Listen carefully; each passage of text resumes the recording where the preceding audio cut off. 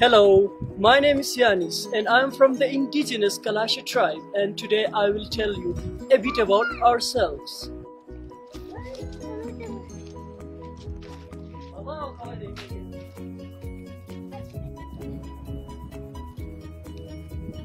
This is our worship place called Mahadev. We pray here in the festival times and whenever we have problems we come and pray.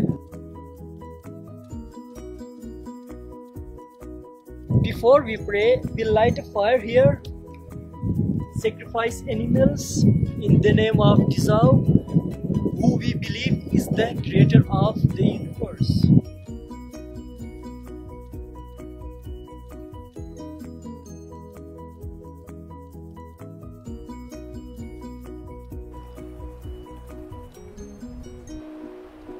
This is just a khan, a large hall where we bring our dead.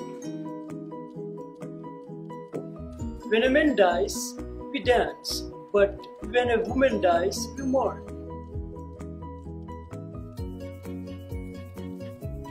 During Chomas festivals, we bring fruits here for the dead souls.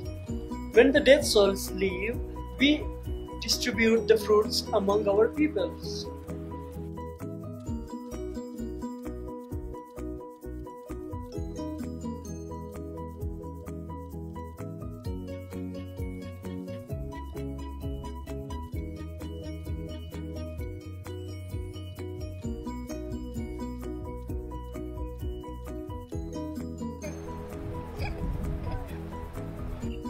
This is called Bashaleni where Kalasha women come during pregnancy and monthly periods.